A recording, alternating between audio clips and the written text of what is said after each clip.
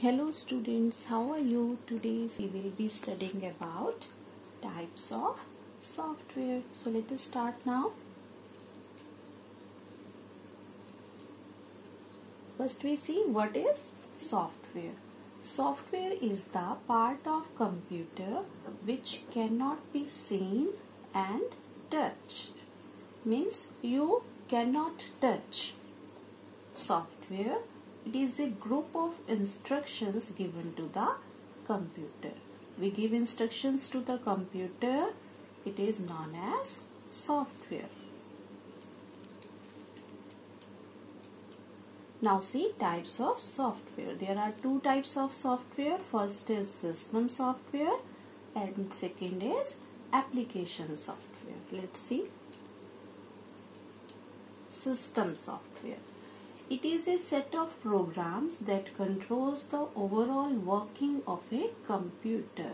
Which controls the working of your computer is known as system software.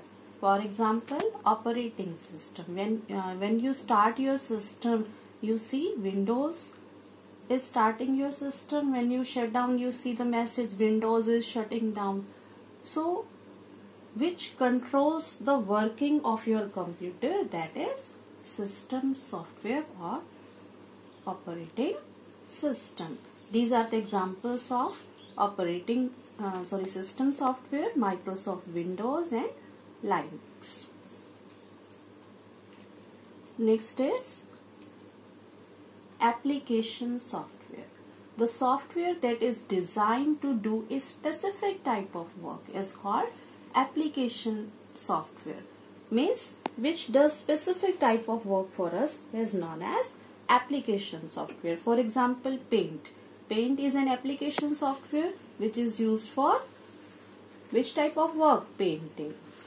And tux paint is also used for painting. And if you want to write letter in computer which type of software is used? Application software that is ms word. Means this software is used for letter writing or anything you want to write and this is for painting. So these software does specific type of work in computer and these softwares are known as application software